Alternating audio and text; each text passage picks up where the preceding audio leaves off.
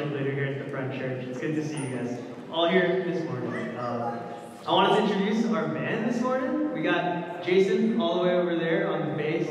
We got Shelly behind the keys. We got Emily next to me on vocals. And we got Andrew on the drums. Uh, so yeah, without further ado, let's everyone please stand if you are able. And let's continue to sing with uh, the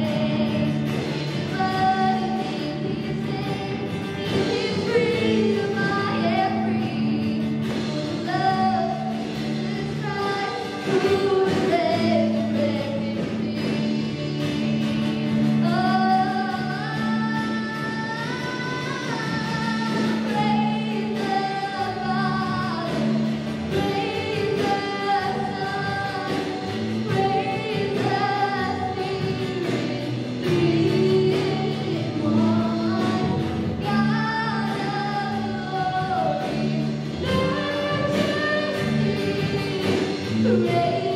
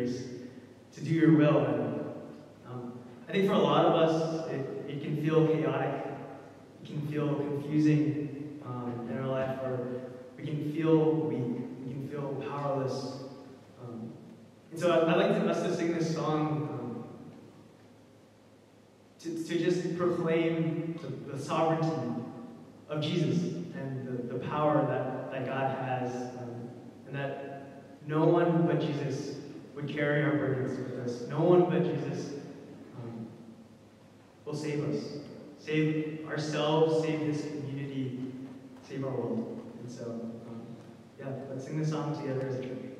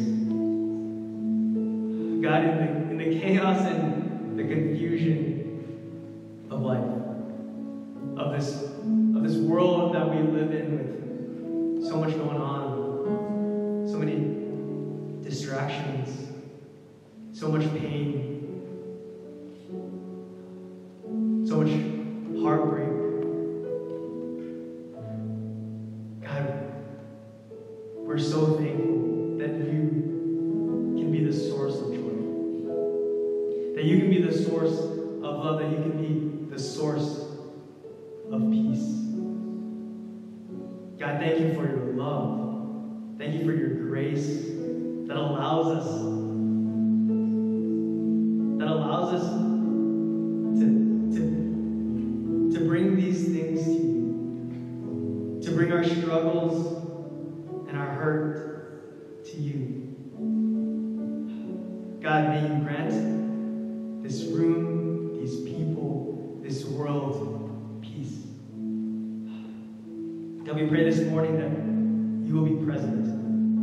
hearts, in this room, in your word. And may we hear you. May we see you. God, may we know what you're doing. May we be inspired by what you are doing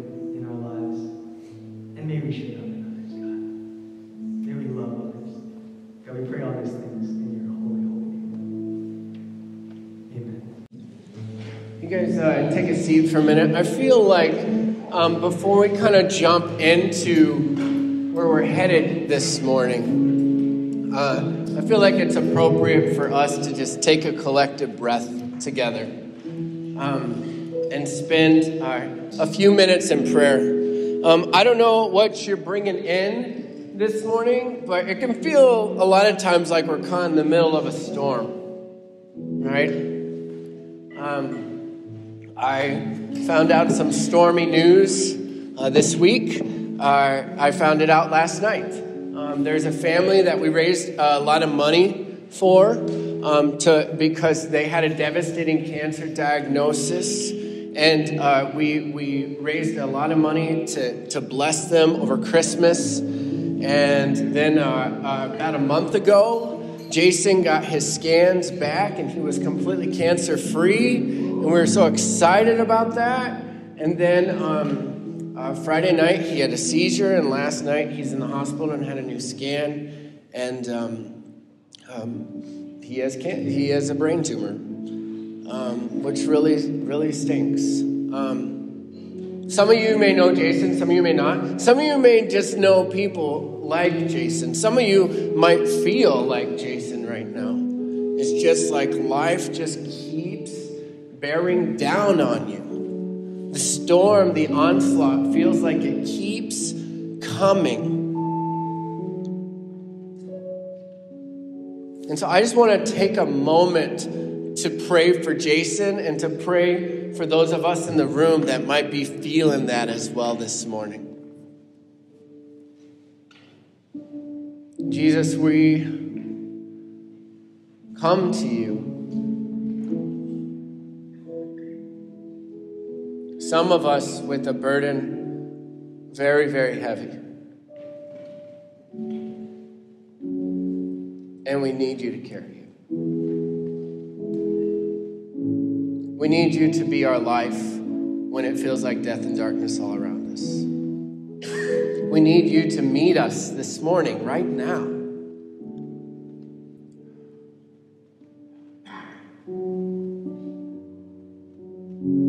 Surprise us this morning. Meet us, Jesus. Please, Jesus.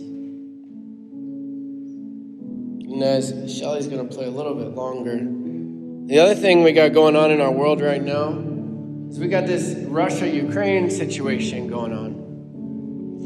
And um, um, I thought that it would, I thought we needed to take a minute to pray for peace.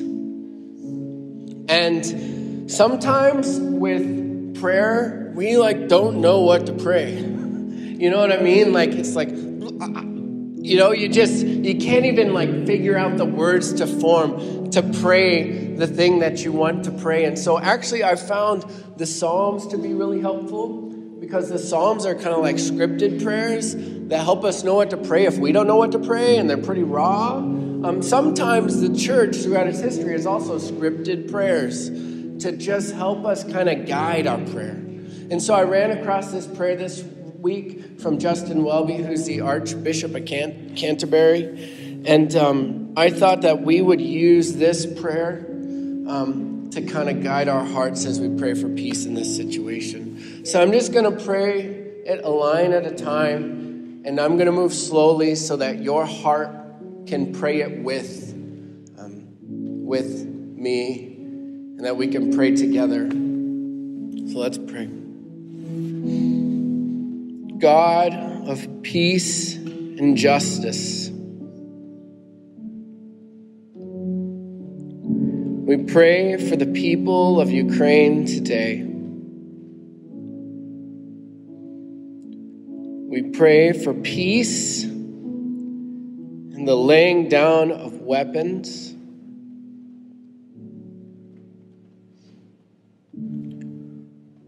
We pray for all those who fear tomorrow. That your spirit of comfort would draw near to them. We pray for those with power over war or peace, for wisdom, discernment, and compassion to guide their decisions. And above all, we pray for all your precious children at risk and in fear. That you would hold and protect them. We pray in the name of Jesus, the Prince of Peace. Amen.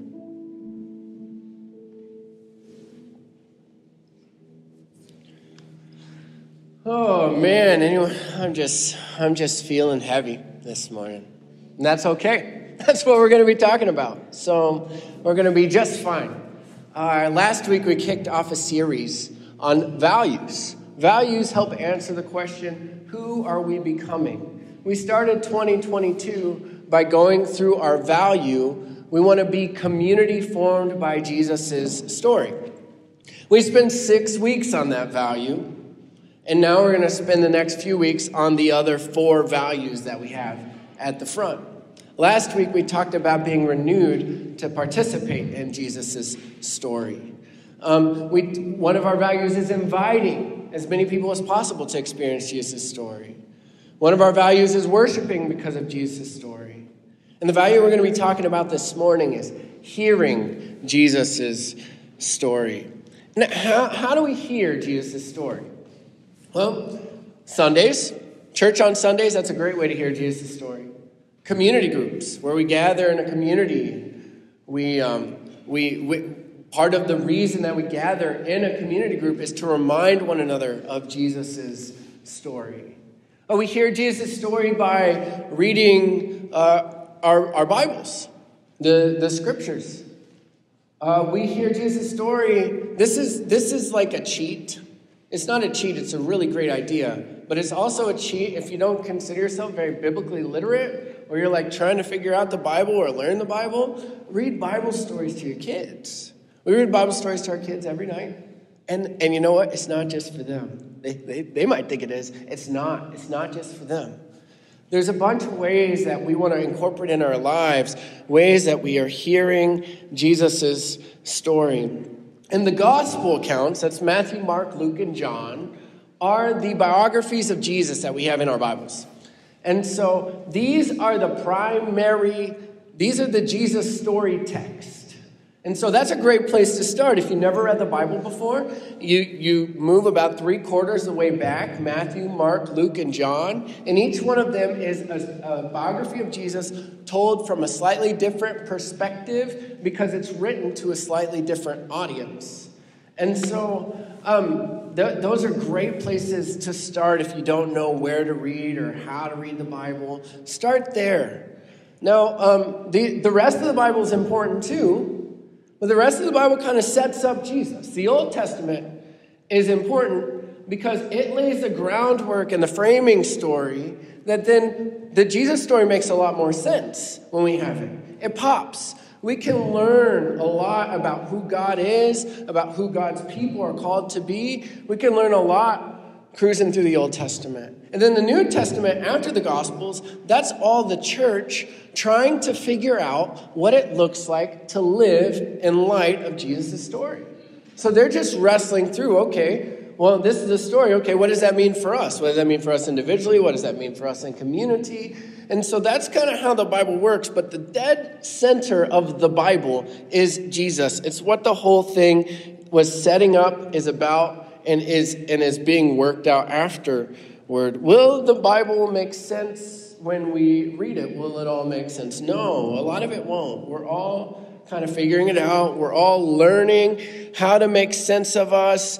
We don't need to be experts when you pick up your Bible. The, now, the more you kind of learn, the, the more helpful it can become. But anyone can do it, and anyone can pick up one of the gospel accounts and read it and begin to put it together. And so, St. Augustine, um, who lived in the fourth century, once said, I love this quote Since Jesus is the Word made flesh, Jesus is a Word made flesh, every one of his actions is also a word. That is to say, a revelation of some abiding and universal spiritual truth. What's he saying there? He's saying when we read the Gospels and we read the stories of Jesus, it's not just telling us something that Jesus did. There's a spiritual truth to be discovered, to be dug into there that has universal application, has universal principles. And so this is an art as we're reading the story of Jesus, as we're hearing the story of Jesus. It's an art, it's a practice to learn how to dig these out and then live by them. And so I figure what we're going to do this morning is we're going to look at part of Jesus' story and we're going to kind of see how's it work. How does it work to hear Jesus' story? And we're going to attempt to hear it together this morning. And again, you, you can do this in your community groups. You can do this at home. You can do this with your kids. We're just going to try and do it together this morning. And so scripture will be on the screen. but you can also open or turn on your Bibles to the Gospel of Luke. Luke is again about just past three quarters of the way back in my Bible. The Gospel of Luke, chapter 8, big number 8. Now, if you don't know anything about the Bible and you're here this morning, this is the perfect church for you because we really try and talk about the Bible in a way that makes sense, in a way that everyone can understand. Again, if it's really fresh, then are you going to be able to understand it all? Is anyone? No, but that's okay. We're, pe- we're going to try and talk in a way that's easily understood. We're going to try and talk in a way that you can begin to put the pieces together. But Luke chapter 8 is where we're going this morning. Luke chapter 8, and we're going to start in verse 22. One day, Jesus said to his disciples, Let us go over to the other side of the lake. So they got into a boat and set out. And as they sailed, Jesus fell asleep. And a squall came down on the lake, so that the boat was being swamped, and they were in great danger. And the disciples went and woke him, saying, Master, Master, we're going to drown. Anyone been a little overwhelmed by a storm in their life? Yes. Master, we're going to drown. So Jesus got up and he rebuked the wind and the raging waters. And the storm subsided and all was calm. Where is your faith? Jesus asked his disciples. And in fear and amazement, they ask one another, Who is this?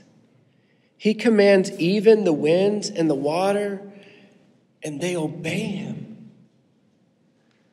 Luke, when he's writing his gospel, gets a little bit of freedom in figuring out how he's going to arrange certain parts. And he puts this part right in front of another stormy story that we're going to read about in a second. But I think this story has a lot to say to us if you feel like you're in a storm right now. You know, maybe it's the cancer diagnosis. Maybe it's just the relationship that's just going south. It's just gone awry. You've tried and you've tried and you've tried and you've tried, and it just feels like there's no light at the end of the tunnel. Maybe it's just, maybe you're a college student and you're so swamped with, tr- with homework and you're trying to get good grades and you don't know where the time's going to come to spend time with people and you're getting more and more lonely and you're feeling more and more alone. I don't know, it's different storms. Maybe it's a global storm. I feel like we're in a global storm right now where it's like, what is going to happen? I thought that these kind of concerns were concerns my parents had to worry about in the 80s and 70s. And now we're, are we back? I don't know. I don't know. But we can glean a couple truths out of this story right away. One, if you're in Jesus' boat, you're going to be all right. You don't have to be a Bible expert to pull that one out. You can read this story and you can know if I'm in Jesus' boat, I'm going to be all right. Another thing we can glean Jesus has power over the storm. We want to try and learn how to hear Jesus' story because this story has changed the world. This story is not just this, not just this particular story, but the whole story of Jesus has literally turned the world upside down. We sometimes don't understand that, like a lot of our values, a lot of the things we take for granted, a lot of the, the, the, the, the fact that all humans are worthy of dignity and respect and honor, this kind of innate, like, of course that's a value, of course that's universally true. We didn't get that from Rome. Rome didn't think that way in the first century. We didn't get that from, from Sparta. We got that from Jesus. In Rome, they put each other in coliseums and watch people kill each other for fun. That, that was just entertainment. They, had, they, they, they didn't see any reason to stoop down and serve one another but beneath your social class. The, the values that we've inherited are the result of the Jesus story literally turning the world upside down. But we work to hear this. Now let's go a little deeper, okay? Maybe you don't know the Bible that well. That's fine. You could have gleaned those two things right away. Well, let's take it a step further. And let's look at the, the water thing going on in the story. There's a storm happening. In the book of Genesis, which is literally like the first book of your Bible, the very beginning, there's a creation story. And in the creation story in the book of Genesis, it says, In the beginning, God created the heavens and the earth. Now the earth was formless and empty. Darkness was over the surface of the deep. And the Spirit of God was hovering over the waters. And then what happens over the waters?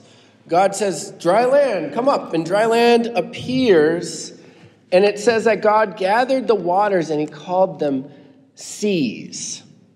S E A S, like a sea, like the great sea, seas. That's the very beginning of your Bible. If you cruise to the very end, Revelation chapter 21, there's a really curious thing that happens. This is at the very end. This is anticipating the day when Jesus makes all things new, when all the sad things come on uh, come untrue. As was that Samwise that asked Gandalf that question in Lord of the Rings? But this is the part. This is the moment in the Bible story. This is the moment we anticipate in the future where all the sad things come untrue. And the Apostle John writes Then I saw a new heaven and a new earth, for the first heaven and the first earth had passed away, and there was no longer any sea. That's really weird. No sea? What's up with that? Like, well, if you keep reading, you see that there's water. There's a river running through the city. So he's not saying there's no water. So what's the deal with the sea? There's no sea. The sea is gone. Here's the deal in Jewish first century thought, the sea, be, the sea came to symbolize all the dark forces that were trying to thwart God's will for his people and his creation. They came to symbolize and epitomize all the things that are up against the power of God, that are up against God doing what he wants to do. It came to symbolize these dark forces. And so at the and the John is telling us in Revelation, one day that's going to be no more. So now let's take that to the next level. The disciples are like, Who is this that can speak to the sea and it listens? Something bigger is going on here. The one who is actually bigger than the forces of darkness, bigger than the death, bigger than all the things that are up against God's plan for his people and his creation, that one is here now and something different is happening. If you ever feel like you're in a storm, Jesus allows them to be in the storm, but they're in his boat and he's got power over the storm. Let's go to the next storm. So if you keep going in Luke 8, we're just going to keep reading. So they sailed to the region of the Gerasenes, which is across the lake from Galilee. And when Jesus stepped ashore, he was met by a demon possessed man from the town. For a long time, this man had not worn clothes or lived in a house but he lived in the tombs. And when he saw Jesus, he cried out and fell at his feet, shouting at the top of his voice, What do you want with me, Jesus, Son of the Most High God? I beg you, don't torture me. For Jesus had commanded the impure spirit to come out of the man. And many times it had seized him, and though he was chained hand and foot and kept under guard, he had broken his chains and had been driven by the demon into solitary places. So Jesus asked him, What's your name? Legion, he replies, because many demons had gone into him, and they begged Jesus repeatedly not to order them to go into the abyss. So a large herd of pigs was feeding there on the hillside, and the demons begged Jesus to let them go into the pigs, and he gave them permission. And when the demons came out of the man, they went into the pigs, and the herd rushed down the steep bank into the lake and was drowned. What a sight. Um, But when those tending the pigs saw what had happened, they ran off and reported this in the town and the countryside. And the people went out to see what had happened. And when they came to Jesus, they found the man from whom the demons had gone out sitting at Jesus' feet, dressed and in his right mind, and they were afraid. And those who'd seen it, told the people how the demon possessed man had been cured. And then all the people of the region of the Gerasenes asked Jesus to stay with them forever because of all the good things he did for this man. No, they asked him to leave because they were overcome with fear. So he got into the boat and left. And the man from whom the demons had gone out begged to go with Jesus, but Jesus sent him away, saying, Return home and tell how much God has done for you. So the man went away and told all over town how much Jesus had done for him. If you ever feel like you're in a storm, you're in good company. This man was in a storm. He knew he was in a storm. And I bet the disciples, when they get off the boat and they see this guy running towards them, and they're putting two and two together real quick, he's not dressed, he looks crazy, He's coming from a graveyard. I bet they feel like they're about to get another storm, too. But the dark powers have overtaken this man. And this, in this man, what we see is we see an extreme example of what the dark powers want to do to you. In this man, we see an extreme example about what the dark powers want to do to our world to destroy, to bring chaos, to bring death. And this man is simply the, a picture of the end of where a life without God will lead us. If we're not in Jesus' boat, the sea will consume us and we need rescue. Now, this story feels a little funny because it talks about demons.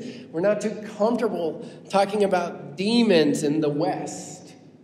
I'm not too comfortable talking about demons, if I'm being entirely honest. But I've had to face a reality, and maybe you guys need to face this reality too. I have realized that sometimes we can think, well, we're beyond those sort of superstitions. Like we, we, don't, we don't believe that sort of stuff anymore. I've realized that is a cultural, that is cultural snobbery. There are plenty of places all around the world where this is a this is just they understand this. There's nothing off-putting about this story. They get these realities. In fact, I was once in Taiwan on a mission trip. I shared a story from the Gospels that I found particularly meaningful to me for, for a particular reason. And then afterward, the missionaries talked to me and they said, You know, they didn't really get your point because they were too caught up in the demon stuff, because that's real for them. Oh, Oh, okay.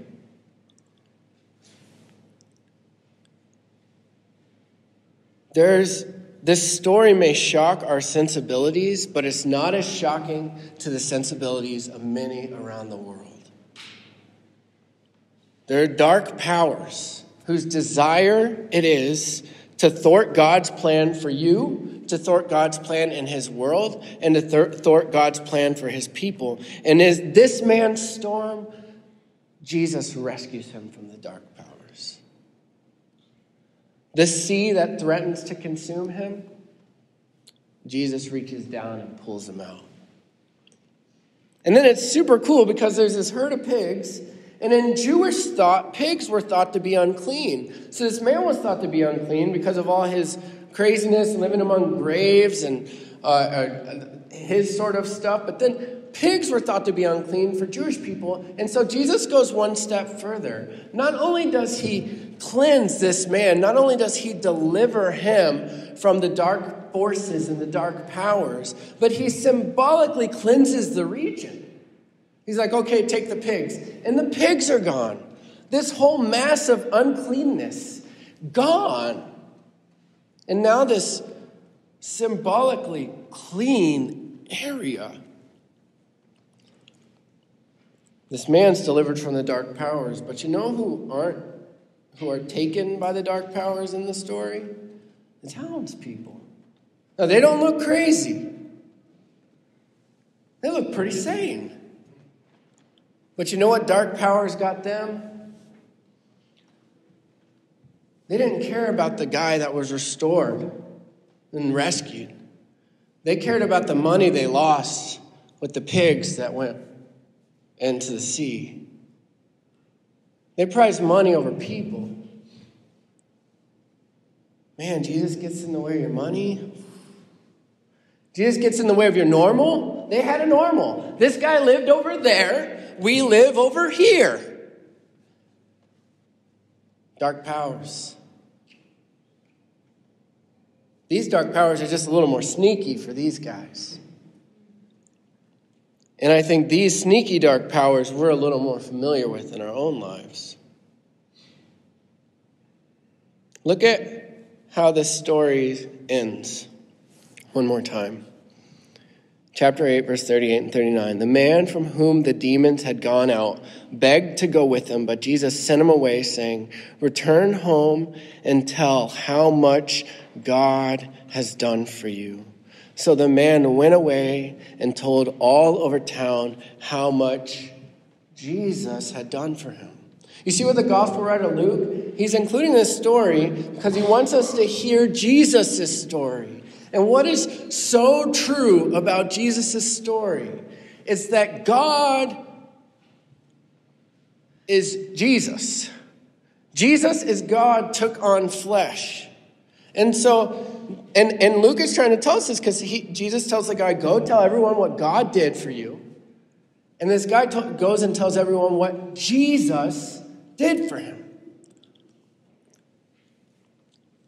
Now, I always thought it strange. I'm like, Jesus, why not let this guy come with you? Here's why I think, though. I think Jesus doesn't want the dark powers that have taken the community to keep taking the community. So, what's he do? He puts a walking, talking reminder of Jesus' power in their community to cruise around and tell everyone about Jesus. There can be a new way. There can be a new way of life. There can be a new rescue. You, money's, money's not going to save you. There can be life with God. A walking, talking icon of the power of Jesus cruising around the community owned by the dark forces. If you ever feel like you're in a storm, if you're in Jesus' boat, you're going to be all right. And Jesus has power over the storm. Now, hearing Jesus' story, this has the power to shape us. This has shaped the world. This has changed the world. This has the power to transform us. This has the power to make us new. This is a story that we need to bring to mind again and again. That's why we hear it on Sundays. That's why we hear it in community groups. That's why we read the scriptures during the week. That's why I read Bible stories to our kids, because I forget it all the time. I forget all the time the truth of who Jesus is the truth of who we are because of who Jesus is, the truth of what Jesus has done in the world. It has changed the world. Now, will we be experts with Jesus' story? No, but we practice. Isn't practice a wonderful word? Like, that's all Jesus is inviting his disciples to do over and over again when they're following him, because they screw things up all the time, which should make us feel really great, because we screw things up all the time. But as they're screwing things up, Jesus invites them to practice again what it means to be his people, what it means to follow him, what it means to come to him. He doesn't keep them at a distance, he's always bringing them in. And the God, Jesus, who knows about the seas, he knows about the dark powers. He knows about the storms of our lives. And he wants you to know he's not far. I got one more story this morning. If you feel like you're in a storm, I, I'm saying this as lovingly as possible. I hear this as a place of deep care and compassion. If you're not in Jesus' boat, you're in imminent danger.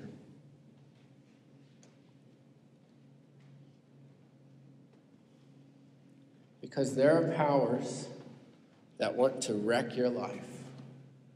There are also powers that just want to trick you to living for the wrong thing. They just want to trick you to live for the wrong thing and the wrong reasons. And you're in imminent danger of wasting your life. And you're in imminent danger of losing your life. But our God is not a God unaware of the danger we face without Him. One more story, here it is. There's a time when Jesus lets the storm win. He doesn't calm the storm.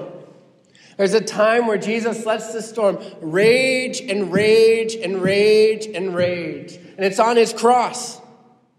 When he's hanging up there, and the storm and the dark powers are coming with all they got. They're coming. He could have called and said, Get me out of here, Father. He let the storm win. Why does he let the storm win? He lets the storm overtake him so that the storm doesn't overtake you. That's what he's doing on the cross. Jesus lets the powers play their very worst. They're coming at him full force. And if you ever feel like the powers are coming at you full force, if you ever feel like you can't see light at the end of the tunnel, if you ever feel like you don't know how anything good can come out of this, if you ever feel that, you know what? He let, he's been there. He let it all come raging down. It all came pouring down on him on the cross. And then he was buried, and it looked like the powers won.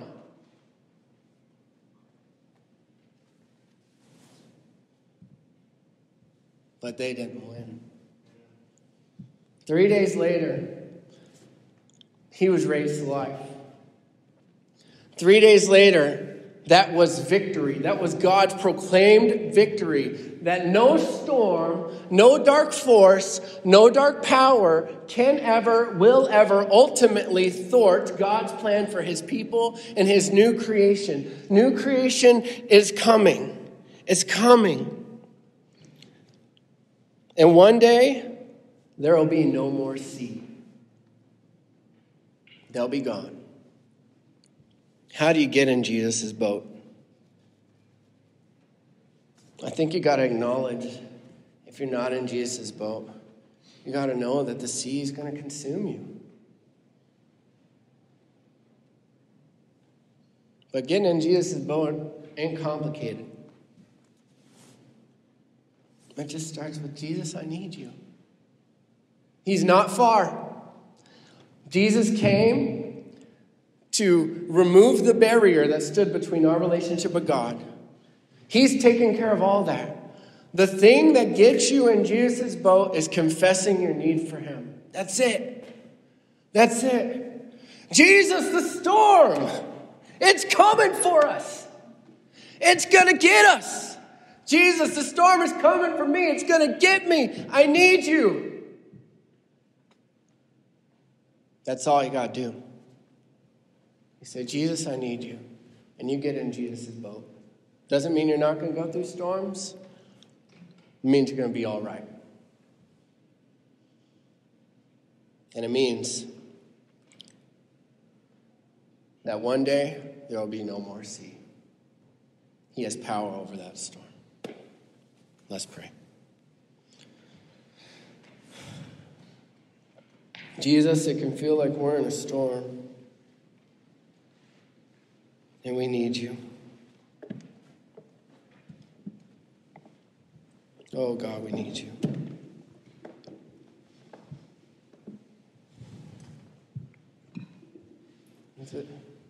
Maybe you're in the room right now, heads bowed and eyes closed, and you know those dark powers have been coming for you. And you want to experience Jesus' life. You want to invite Jesus into your life. You want to say, Jesus, I need you. Jesus, I want to be in your boat. If that's you this morning, you can pray the simple prayer in your heart, in the quiet of your heart, with me right now. Jesus, what I've been doing hasn't been working. You died on the cross for me. You were raised to life for me. I need you. Come into my life.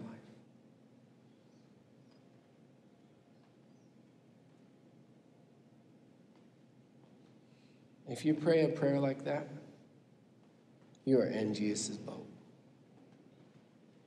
You are in Jesus' boat. Jesus, we give this time to you. In your name. Amen.